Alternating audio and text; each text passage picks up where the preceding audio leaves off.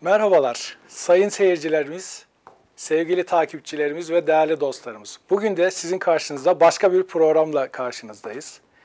Ee, bugünkü programımızın ismi Özgürce Gülümse ve Mutlu Ol. Hayattaki belki de en değerli şeylerden birisi, belki de en değerli olanı mutlu olmaktır. Bildiğiniz üzere ben bir diş hekimiyim. Ee, bizler insanları güldürmeye, daha iyi güldürmeye, daha çok güldürmeye çalışan hekimleriz. Ee, ve onları bu sayede mutlu etmeye çalışıyoruz. Ee, bence insanın gülümsemesi, ruhunun güzelliğini aynı zamanda bizlerin yaptığı tedavilerle fiziksel olarak da e, gülümsemesini güzelleştirmeye çalışıyoruz. Ee, bugün yanımda değerli bir dostum, bir değerli bir konuğum var. Doktor Sina Yıldırım yanımızda. Kendisi de benim gibi bir ortodonti uzmanı. Rivadent Maltepe Polikliniğinin ortodonti uzmanı. Sina Hocam hoş geldiniz. Hoş bulduk Erman Hocam. Nasılsınız? İyi misiniz? İyi Sina Hocam. Ee, sizler nasılsınız? İyiyim. Teşekkür ederiz. Nasıl İstanbul'da havalar? Havalar gitgide soğumaya başladı. çalışmalar nasıl gidiyor? İstanbul'daki çalışmalar? İyi, güzel. Zaten e, rutin bir yoğunluğumuz var. Biz de yani aynı rutinde devam ediyoruz. Hocam biz Samsun'da çok yoğun bir hasta yükümüz var. Çok Evet. çalışıyoruz ama geldim burada gördüm sizi. Siz bizden betersiniz. Maşallah diyelim. Evet, Nasıl maşallah. gidiyor hocam ortodontik tedaviler?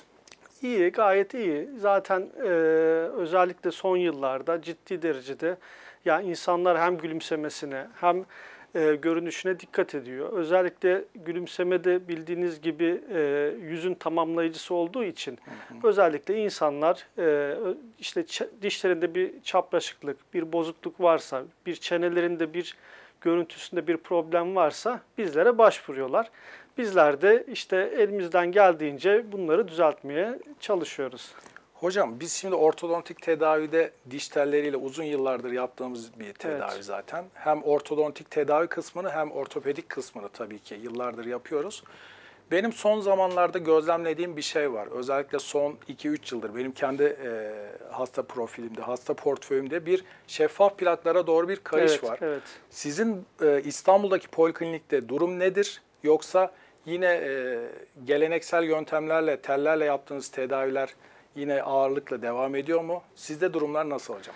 Hocam bizde de tabii son yıllarda özellikle biliyorsunuz şeffaf plakların geçmişi aslında çok değil. 20 yıllık yani 22 yıllık bir serüveni var.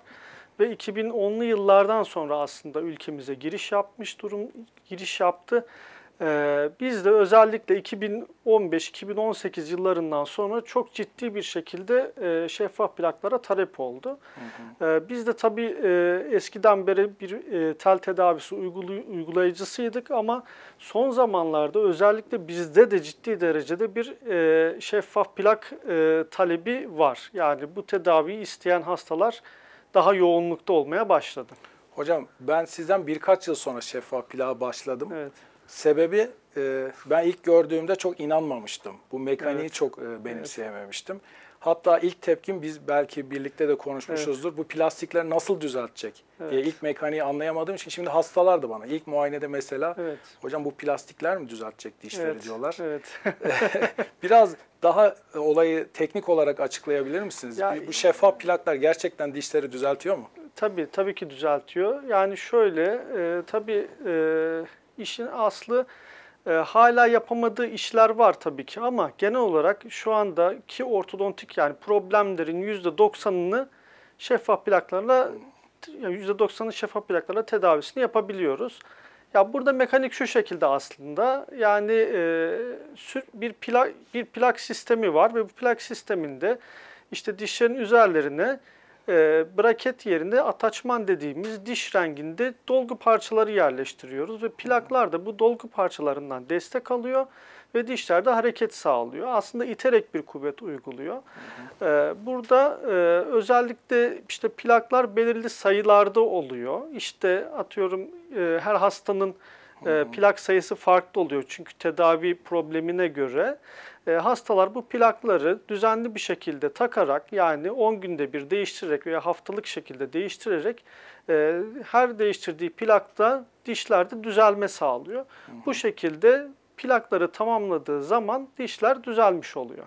Her plak birbirinden farklı. Farklı tabii. Her plak birbirinden farklı. Her plak birbirinden farklı olduğu için de tabii dişlerin hareket etme miktarına göre Aynen. Plaklarda değiş. Peki e, plağın takma süresini de bize anlatır mısınız hocam? Bir günde ne kadar tak? Çünkü ben hastalara şey diyorum, kutuda durunca düzelmiyor diyorum. Doğru Plak söylüyorsunuz kutuda, hocam. Kutuda durunca düzelmiyor. evet. Ya bu sistemin aslında en kritik noktası plağa günlük takma süresi. Günde plak en az 20 saat takılması gerekiyor. 20 saatin altında takıldığında özellikle tedavinin ilerleyen safhalarında mesela işte 10 15. plaklarda, 20. plaklarda başlıyor. artık oturmama problemleri başlıyor. Ek plak ihtiyaçları doğabiliyor. Tabii. Ama plaklar düzenli bir şekilde takılırsa bu problemlerle karşılaşmıyoruz. Yani buradaki özellikle günde 20 saat takılması gerekiyor. Bazı hastalarımızda şöyle oluyor. Hocam ben hastaydım.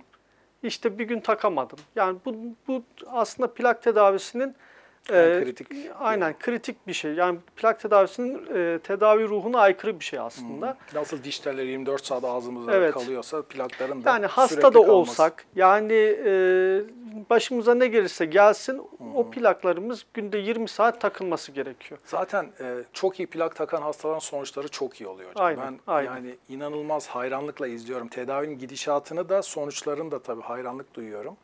Evet. E, peki tam iyi bir şekilde kullanıldığında diş telleriyle süre anlamda, toplam tedavi süresi anlamda kıyasladığımızda biraz daha kısaltıyor diyebilir misiniz? Şimdi aslında şöyle Çünkü plak fir- e, üretici firmaların iddiası bu. evet. Benim gözlemlerim evet. Evet. Bazı hastalarda cidden kısaltıyor. Evet. Buyurun hocam. Yapılan çalışmalarda %30'a kadar hızlandırdığı e, gözlemlenmiş. Evet cidden ben de kendi hastalarımda daha hızlı bir şekilde etki görüyorum. Özellikle plaklarını düzenli takan hastalarda ama eğer plaklar düzenli takılmıyorsa e, burada şöyle e, ek plak ihtiyacı da doğacağından tedavi süresini kısaltmamış oluyor. Ama Tabii. düzenli takarsa daha hızlı bir tedavi sonucuna ulaşabileceğini Yani yine bize bağlı. biliyoruz. Aynen. Yine insan Aynen faktörü öyle. yani orada.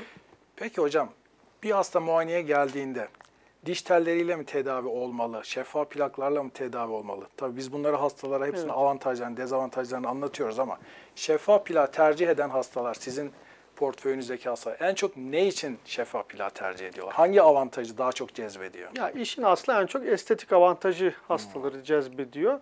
Ama aslında e, bence estetik avantajı tabii ki önemli ama onun haricinde e, işte istediğini yiyip içebilme özgürlüğü bence en büyük avantajı. Sağlık açısından aslında en büyük avantajı da özellikle hijyeni zor sağlayan hastalarda ciddi derecede fırçalama konforu sunuyor. Yani e, aslında şey yani tele göre ciddi güzel avantajları var. Yani estetik e, avantajının yanı sıra bu tarz avantajları da mevcut. Bizim e, birlikte çalıştığımız periodontoloji uzmanları yani diş eti hastalıkları Evet. uzmanları bazı hastaları tedaviye başlamadan önce e, periodontolojiye yönlendirdiğimizde dönüşte bana doktor hanım ya da doktor beyler şey diyor. Buna tel takma. Bunu şeffaf plakla tedavi Evet. etsen daha iyi olur. Çünkü diş eti sağlığı veya dişin çevre dokularının sağlığı kritik olan hastalar oluyor. Tamam Evet. iyileşmiş oluyor. Ortodontiye başlayacağız ama e, şeffaf plakta dediğiniz gibi sanırım hem hijyen bakımından hem de sanki mekanik anlamında da tellere göre biraz daha az kuvvet yüklüyoruz Hı hı, biz dişleri hı hareket Evet, ettirirken. Hı hı, Tabii çok önemli avantajlar. evet. Ee, bir de hocam biz bir sürü diş teliyle tedavi yaptığımız hastalarda diş fırçası reçete ediyoruz. Bir Evet, sürü evet. aksesuar. Ek maliyetler çıkıyordu. evet. ben süre tuttum hocam. 9 dakika falan sürüyor. Yani Evet. diş telleriyle gerçekten bizim istediğimiz gibi temizlik elde etmek için bu da gerçekten şeffaf plaklarla kıyaslandığında ciddi bir fark. Ya evet şimdi zaten e, sadece yani fırçalama süresi de tabii ki önemli. Fırçalama hani fırça maliyetleri, ekstra fırçalar alıyorduk. Bir de bunu düzgün yapamıyorlardı. Yani şimdi düzgün yapamadıkları zaman ciddi Çürük diş eti büyümeleri, ciddi çürümeler. Ya ben şu ana kadar hiçbir yani şeffaf plak hastamda e, böyle bir diş eti büyümesi yani e, görmedim. Yani diş eti problemi görmedim.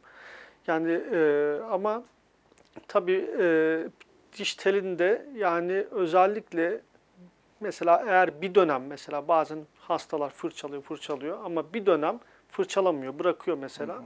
Mesela o bir dönemde bile ciddi derecede bir diş eti büyümesi, işte e, çürümeler vesaire göre gözlemledim. Ya burada aslında e, kritik olan yani e, şeyde yani diş telinde kritik olan yani düzenli şekilde fırçalamak. Yani bu çok önemli. Ama işte şeffaf plaklarda burada birazcık daha hasta şey konforlu diyeyim yani. Ee, hastaların avantajları tabii çok fazla. Bir de bizim ayda bir kontrollerimiz Evet, vardı. evet. Şimdi burada biz daha çok her pila mesela ben iki haftada bir değiştirdiğim hastalarım da çoğunlukla oluyor. Evet. Her pila mesela iki hafta değiştirsem bile ben onlara iki plak, dört plak, altı plak, sekiz Evet. plak verebiliyorum. Tabii Hı hı, oradaki hı aşamalandırma tablosuna bakarak. Bu da hasta e, poliklinik ziyaretlerinin sayısını azaltıyor. Evet. Bu da hemen benim aklıma şeye getiriyor. Şehir dışında veya işte çok uzak Doğru. illere atanmış, oralarda çalışmak durumunda kalan veya Hı hı. yurt dışından gelen hastalar. Evet. Benim son dönemde yurt dışından gelen hasta sayımda Evet. ciddi artış olmaya Aynen. başladı. Evet. Sizin durum nasıl? Siz Aynen ne- bizde ne de öyle. Yani Nasıl özellikle yurt dışında biliyorsunuz e, maliyetler biraz yüksek. Özellikle işte Almanya'dan, işte İngiltere'den e, gelen hastalar oluyor ve bunlar e, özellikle şey e, hem fiyat hem e, maliyet fiyat maliyet açısından yani e, daha uygun olduğu için Türkiye'de yaptırmak istiyorlar. Yani o tarz durumlarda Sürekli gelmiyorlar çünkü. Gelmiyorlar evet yani plakları şöyle işte belirli daha seyrek atıyorum ayda bir değil de iki ayda bir veya üç ayda bir kontrole gelerekten e, bu tedavi yürütebiliyorlar. Yani Tabii. mesela benim bir tane Evet, örnek e, verir misiniz diyecektim. Evet benim bir tane şey var mesela e, kaptan hastam var. E, mesela biz işte yat kaptanı işte bir seyahate çıkıyor. Bazen işte nerede olduğunu da belli olmuyor. Yani sadece işte şu ülkede yaşıyor diyemiyorum. Yani işte gidiyor İtalya'da, neredesin diyorum Ibiza'dayım diyor. Neredesin diyorum işte e, Sicilya'dayım diyor. Yani mesela bu tarz kişiler, şimdi bu- tarz kişiler bir tedavi görmek istiyor. E şimdi bunu biz telde tedavi ettiğimizde yani ayda bir Sicilya'dan gelemez bu adam veya işte Ibiza'dan gelemez. Ki zaten kendi de nasıl yani e, kendinin de programı belli olmuyor. Yani hani e, bazen mesela gemi kaptanları oluyor, gidiyor. 9 ay sonra geliyor. Şimdi bu tarz kişiler eskiden bu tedaviyi görebiliyorlardı ama atıyorum belki bir buçuk sene olan bir tedavi 5 sene sürüyordu. Yani çünkü bizim aylık kontrol etmemiz Tabii. gerekiyordu. Ama şimdi bu şeffaf plaklar çıktıktan sonra biz ona işte belirli sayıda plak veriyoruz. O plaklarını kullanıyor. Hatta online şekilde böyle görüntülü e, seanslar da yapabiliyoruz. Yani e, hem bize bazen fotoğraf gönderiyorlar. Bazen işte online seans yapıp e, e, orada kontrol edebiliyoruz. Ya bu şekilde bu insanlar da aslında rahat bir şekilde tedavisini olabiliyor. Şeffaf plakla yurt dışında yaşayan, bizde tedavi olan hastaların ziyaret sıklığı ile ilgili örnek vermek gerekirse, mesela siz de yine örnek vermenizi istiyorum. Hı hı. Hocam benim yılda bir kere gelen 5-6 tane hastam var. Evet, evet. Yılda bir kere gelecek Evet. şekilde planladık. Hı hı. Ee, yine yurt içinde de mesela öğretmen atandı başka çok Evet. uzak şehirlerin uzak ilçelerinde veya öğrenciyi de üniversiteye kazandı. Onları da ben dönemlik çağırıyorum. Evet, Yani dönemde evet. bir kere geliyorlar. Evet. Müthiş bir şey değil mi hocam? Evet, aynen. Yani aynen. diş Ya- teliyle kıyaslayınca inanılmaz bir şey. Evet ya şimdi, Sizde de vardır şimdi örnekler. Bizde de var tabii. Ee, özellikle ya mesela e, bir birisini tedavi etmişsiniz. Bir arkadaşı veya kardeşi oluyor. Hocam siz tedavi edin diyor. Memnun kalmış. İşte e, işte ama diyor ben diyor mesela işte şurada öğrenciyim diyor. Nasıl yapacağız? Ya cidden bu tarz durumlarda eskiden yine telde takıyorduk. Hani gidip gelmesi zor oluyordu hasta için ama burada hani e, dediğim gibi hastaya göre periyotlar belirleyebiliyoruz. Yani bu periyotlar atıyorum 3 ay oluyor, 4 ay oluyor. Dediğiniz gibi bir tane hastam vardı benim de. Dedi ki hocam ben işte plaklar bitene kadar e, gelemem demişti mesela. Biz de onu aralıklı olarak kontroller işte online kontroller yaparak hani tedavisini ilerlettik. Ve sonra bir geldi zaten gayet güzel bir şekilde Evet. e, sökümünü yani bitimini yaptık. E, güzel. yani cidden hani e, bu avantajı özellikle işte bazı hastalarda şey oluyor. Bazı kişilerin se- işte sürekli seyahat ediyor veya atıyorum bir başlıyor tedaviye bir sene kalıyor. Sizin de başınıza gelmiştir hocam. Yani polis oluyor, öğretmen oluyor dediğiniz gibi. Tedaviye başlıyor. Birden bir atama geliyor. işte şehir değiştiriyor. Ya bu tarz durumlarda cidden bize bir konfor sağlıyor. Hocam şey de var. Aynı şehirde olsa bile, size çok yakın olsa bile işten izin alamıyor ya da Doğru. okul işte dershane okul ev üçgeninde yaşayan maalesef Evet. sınava hazırlanan çocuklarımız oluyor. Ayda bir gelmek yerine sen 3 ayda bir geleceksin diye Evet. inanılmaz büyük bir avantaja dönüşüyor. Aynen, aynen. Yani e, ya bu cidden hem yani sadece bu tedavi şey olarak düşünmeyelim. Hani e, kullanım konforu değil, ya yaşam standardı da daha konforlu hale geliyor. Evet. Ben orada bir e, detay vermek isterim bu konuyla ilgili. Bir aşamalandırma tablosu yani kişiye özel bir takvim oluşuyor programda. Biz o program daha tedavinin başında tedavi planını yaparken e, hastanın yani kişinin durumuna göre o takvim üzerinde küçük değişiklikler yapabiliyoruz. Yani kişiye özel tedavi, kişiye özel bir takvim oluşturuyoruz. Bu inanılmaz büyük bir avantaj tabii bizim için. Hocam e, bunların dışında başka ne tür avantajlardan bahsedebiliriz? Ya bunların dışında yeme içme konforu, onun Evet. biraz detayına gireyim isterseniz. Evet. Ee, ya özellikle e, biliyorsunuz telde e, işte sert ve yapışkan gıdalardan uzak durmamız gerek, gerekiyor. Yani çünkü işte yapışkan gıdalar temizlemesi zor olduğu için ciddi bir çürük oluşturma riski oluşuyor. Ee, sert gıdalar da özellikle bu tellerde, braketlerde kopmalara sebep oluyor. Ve bu nedenle e, tedavi sürecinde hem uzamalara hem işte kopmadan sonra yanak işte veya diş etine batmalara sebep oluyor. Yani işte şeffaf plaklarda böyle bir problem yok. Ee, yani e, istediğim plakları çıkart takabildiğimiz için yani e, tedavi sırasında işte çıkartıyoruz plaklarımızı. İstediğimizi yiyip içebiliyoruz. Daha sonra e, dişlerimizi fırçalayıp plaklarımızı tekrar takabiliyoruz. Ee, en çok burada şunu soruyorlar bana. Ben bunu ilk muayenede Evet. takıp çıkarabilir miyim? Evet. Zor mu bunu takmak? Zor mu bunu çıkartmak?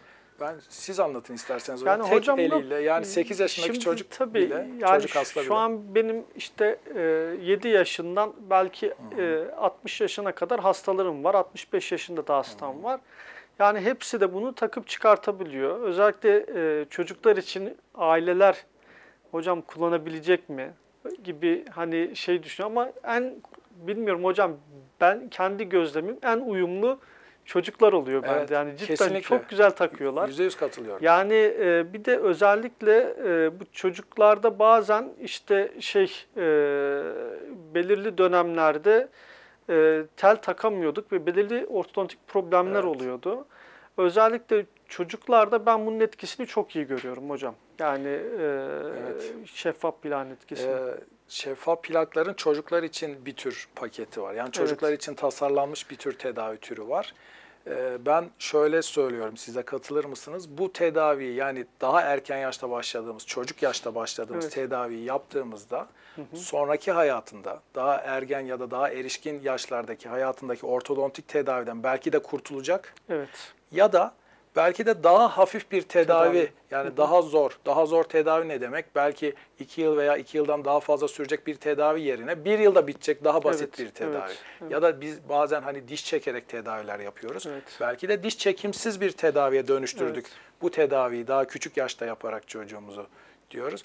Bir de anneler bana şey diyor babalar, bizim çocuk bunu takar mı acaba diye. Evet. Hocamın da söylediği gibi kesinlikle yaşı küçük olan hastalar daha uyumlu, daha Doğru, çabuk doğru. adapte oluyorlar ve harikalar. Zaten onların kemik yapım yıkım metabolizması da çok hızlı. Yani gerçekten harika sonuçlar Ben aslında çocuklarda. şey hani velileri biraz böyle tedirgin olan velileri teskin etmek için yani şöyle söylüyorum. Yani gözlük takar gibi oluyor bir süre Evet, sonra. lens takar gibi, yani gözlük çok takar çok rahat bir şekilde çocuk buna hem uyum sağlıyor hem takıyor. Yani o konuda kesinlikle rahat olmalılar yani. Hocam hasta mesela ilk muayene, bana mesela yurt dışından gelen hastalar şunu soruyor. İlk muayeneye geldim. Ee, Türkiye'ye yani tedaviye başlama sırasında tekrar bir daha ne zaman gelmeliyim ya da kaç defa gelmek zorundayım? Minimum ziyaret sayısı ne kadar olabilir? Gerçekten mesela yurt dışında yaşayan Türk hastalar var Evet. ve izin almak ya da seyahat etmek konusunda kısıtlanıyorlar. Onu da sanki bir ya da örnek bir hastanızın takvimini anlatır gibi anlatabilir misiniz? Ya aslında bu e, hastadan hastaya değişen bir şey. Yani çünkü bazen çok basit hastalar oluyor. Yani hani tedavisi çok uzun sürmeyen, sadece çapraşıklık problemi olan hastalar oluyor. Onlar da bazen hiç şeye seansa bile gerek olmayabiliyor. Yani direkt bütün plakları veriyoruz. Hasta bitince geliyor. Belki dediğim gibi arada online kontrol yapıyoruz ama bazı hastalarda hani e, plaklara ek lastik kullanımı, bazen mini, mini vida uygulaması vesaire yapmak gerekebiliyor. Onlarda da hem hastaya hem bize uyacak şekilde bir hani te- bir program çiziyoruz aslında. Hani bunun bir düzeni yok aslında. Yani hani bahsettiğimiz işte 3 ayda bir gelirler, 4 ayda bir gelirler gibi bir şey yok. Mesela bir hastam var Malezya'da. Ee, şimdi Malezya'dan buraya gelmesi çok zor. Yani biz mesela onu ciddi şekilde aylık online kontroller yaparak ilerletiyoruz. Mesela bu tedaviyi niye kabul ettim mesela Malezya'daki bir hastayı? Çünkü onda vida gereksinimi yoktu. Lastik kullanma gereksinimi yoktu. Sadece plaklar kullanılacaktı. Ama mesela bu hastaya mini vida vesaire gereksinimi olsaydı muhtemelen hastaya şunu derdim. İşte e, biliyorsunuz siz de plakları belli bir sırayla takılıyor ve belli bir sırada hani lastik veya vida uygulanması yapmamız gerekiyor. O seansı hesaplayıp ona göre bakın şu tarihlerde buraya gelmeniz gerekiyor şeklinde bir uygulama yapardım muhtemelen ama hani bunu yaptığımız hastalar da oluyor. Yani veya işte hastaya lastikleri veriyoruz. Atıyorum eee 20. plakta lastik takması gerekiyor. Ee, onu yine online bir randevu oluşturup işte online bir seans yapıp işte lastiği nasıl takması gerektiğini zaten o ilk seansta gösteriyorum yani şey yapıyorum e, gösteriyorum. Yani hasta e, açıkçası şu konuda rahat oluyor. İşte ne zaman lastiğimi takacağım, hani ne zaman bunu uygulayacağım gibi bir kafasında soru işareti olmuyor. Ama mesela bazen ani durumlar da oluşabiliyor. Yani nedir mesela? Hasta plan takıyor ama oturmuyor veya hani böyle bir durum da oluş, oluşuyor olabilir. Hani bunlarda da hani özellikle işte hastanın hastayı son planı takması gerektiğini hani bize en kısa sürede ulaşması gerektiğini söylüyoruz. Yani hani e, aslında yurt dışı hasta protokolümüz biraz bu şekilde oluyor. Hocam plaklar geldiğinde mükemmel oturuyor zaten. Yani plak Evet. oturmaması gibi dediniz ya. Yani inanılmaz iyi bir malzeme ve inanılmaz iyi bir tasarım var. Evet. Tabi burada tarayıcılardan da bahsetmek gerekiyor. Evet. Ee, biz tarayıcılarla ağız içi bir tür kamera gibi ekranda hastanın birebir dijital kopyasını elde edip Evet. Evet. e, siz Şimdi Anlat- hocam aslında hasta iyi. geliyor. e, işte plak tedavisini biz anlatıyoruz. Yani anlatmaya başlıyoruz. Bakın bunlar hani plağı gösteriyoruz. Bunlar tedavi edeceksiniz diyoruz. Hasta bakıyor. Bu mu hocam diyor. Yani aslında bu mu derken onun arkasında ciddi bir arge var. Evet. Yani ciddi bir teknoloji yatıyor. Yani e, yani milimetrenin onda biri kuvvetler yani onda biri e, hareketler, kuvvetler hesaplanıyor. Yani burada e, dijital bir tarayıcıyla önce ağız içerisi taranıyor. Yani dişlerin üç boyutlu modeli oluşturuluyor. Hastaların fotoğrafları çekiliyor. E, artı şu anda yeni geliştirilen sistemde hastadan tomografi alınıp hastanın diş kökleri dahi artık hani dişinin kendisi direkt sisteme entegre ediliyor. ve köklerin hareketlerini izleyebiliyoruz biz Aynen tedavide. aynen o şekilde. Aynen öyle. Yani e, ve planlama yapılırken de zaten hani e, kullanılan ataçman dediğimiz dolgu parçalarının yerleri vesaire yani hani bunlar en az 3-4 defa, 5 defa e, kontrol edilerek yani bir, planlama yapılıyor. Artı zaten bunların hepsi el değmeden yani üretiliyor. Evet. Yani tamamen dijital. Bununla ilgili firmanın hem e, firmaların işte fabrikaları oluyor. Yani bu üretim tesisleri oluyor. Yani el değmeden üretiliyor. El değmeden paketleniyor. Yani e, çok ciddi bir arge yatıyor aslında bunun arkasında. Çok ciddi bir çalışan sayısı var. Ve o tarayıcı zaten elimiz kolumuz gibi oluyor. Aynen öyle hocam. Şu anda yani onsuz bir benim günüm yok yani Ben diyebilirim. poliklinikteki en iyi çalışanım demiştim de bizim Evet. arkadaşlar biraz kızmıştı bana. Çok çalışıyor çünkü. Evet çok çalışıyor Ee, evet. Bununla birlikte tabii tarayıcılara atıfta bulunduk ama program da yani o software de çok Evet, iyi. çok iyi. Biz bunu ilk muayene veya sonraki clean check yani e, tedavi planını anlattığımız seansta hastanın bitmiş halini hem Evet. e, modeller üzerinde hem de e, fotoğraflar üzerinde daha hiç tedaviye başlamadan Evet, evet tabii gösterebiliyoruz. anlatabiliyoruz, gösterebiliyoruz. Yani Evet. e, zaten tarayıcının da öyle bir özelliği var. Yani işte şeffaf plak tedavisi görmek isteyen hastalarımız e, dişler tarandıktan sonra e, bir algoritmayla tarayıcı onlara aslında dişlerin düzelmiş halinde gösterebiliyor. Yani Evet. böyle bir özelliği de var. Dünyadaki benzer tedavi Evet. görmüş hastaların e, doğru, en doğru, dişlerin en doğru konumlarına ve en doğru açılarına getirip bitmiş halini size evet, en gösteriyor, başta gösteriyor. gösteriyor. Evet, süper. Ya tabii e, bu sefer hasta da motive oluyor. Yani Tabii. hocam şöyle işte diyor ki benim dişlerim e, min düzelmiş hali bu. Evet yani ben bunu istiyorum diyor zaten hasta. Ve böylece zaten tedaviye zaten motive bir şekilde Evet. başlıyor. Sina Hocam harika bir sohbetti. Yani konuşmamız hocam. gerekenlerin belki de yarısını bile Evet, konuşamadık yani. Biz bunu yine tekrar etmeliyiz. İnşallah, inşallah hocam. Bugün e, Doktor Sina Yıldırım'la birlikte e, ortodontik tedavilerdeki teknolojik gelişim gelişmelerden ve tedavilerdeki e, ilerleyişten, hastalara sunduğumuz yeni seçeneklerden ve konforlardan bahsettik. Bir dahaki programda görüşmek üzere.